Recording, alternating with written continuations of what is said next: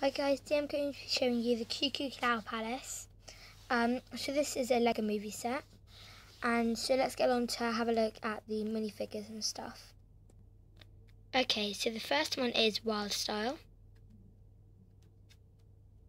Is really cool. The next one is like a evil robot. Okay, so this one is really cool. It's a snail. And this one's like really, really cool. Um, and it's made out of normal Lego pieces, which makes it even cooler. Here we've got the famous Emmet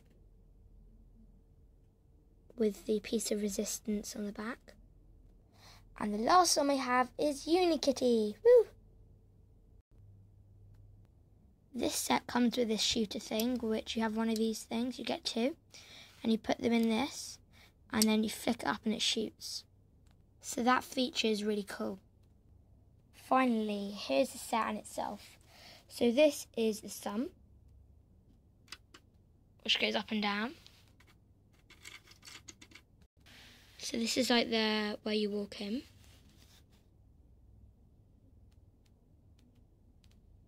And this is really cool. It's got like clouds and loads of really cool stuff.